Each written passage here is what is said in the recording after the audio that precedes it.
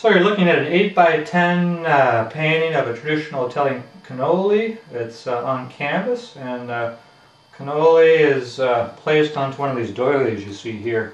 I decided that the doily had this really interesting uh, arabesque, uh, intricate pattern to it that really played off nicely and added you know a touch of elegance to the whole composition. And then I have this you know, teal plate that the whole composition really sat nicely on. And if you've seen some of my past works, I've worked quite a bit with these uh, you know, elliptical compositions with plates.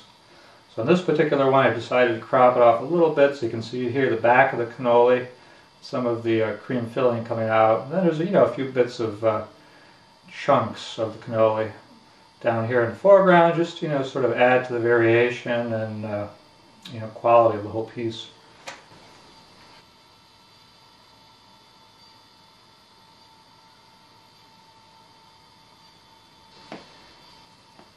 I worked really hard to get this uh, gradation on the uh, tabletop the plates on. There's this cool gray blue down here in the right corner, then it moves over to this uh, warmer tonality. And then like, uh, you know, as the day passes by, I've been working on this for several hours, the light is constantly changing, so I've decided to uh, play up the uh, violet gray light back here and seeing it come through the window. Painted this piece uh, all under natural light, and I just turned the light on so uh, it's a little bit more illuminated. Uh, oftentimes looking through your computer and the way the light sort of uh, diffuses over this, it can uh, impact the way the color is. This is a very rich, luminous piece, I have to say, and there's quite a bit of atmosphere in it too. So uh, I'm going to do a little bit more work on some of the gray violet gradations back here on the table and then working to get it to diffuse into this uh, cast shadow right here. As you can see there's this cast shadow.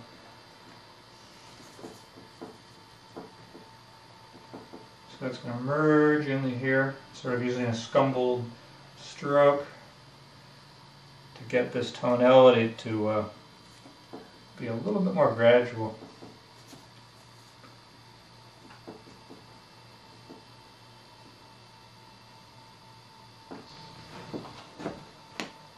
Alright, I'm on the finishing touches of this uh, Italian cannoli on a plate. Uh, this is uh, 8 by 10 inches, oil on canvas, and uh, recently uh, purchased this at a, uh, a, local Italian festival. And I purchased a few other items also, Italian baked goods. But this, this was one that really caught my eye. I mean, there's an entire tradition behind cannolis. Noticing a little bit of cool light over here on the right hand side. Then I have this interaction of uh, warm next to it. I'll go in there and put a little bit more detail on the uh, cream filling. It's really neat the way this cream filling moves inward throughout the shell and then how like this little uh, little bits of sugar, powdered sugar, sort of uh, uh darts all throughout the surface here. And all this, these uh, fine textures are really neat to paint too. Okay, I moved up a little bit more closely. Uh,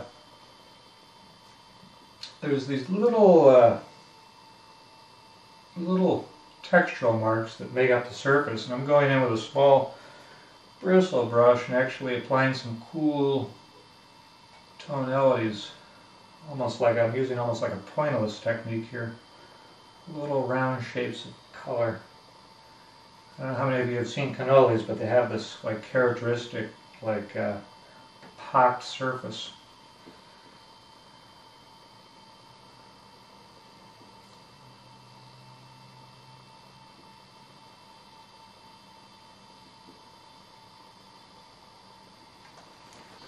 Once again, this is an 8 by 10 oil on canvas, a traditional realist painting of an Italian cannoli. The uh, opening price is uh, $100. Uh, market value is between $1,600 and $1,800.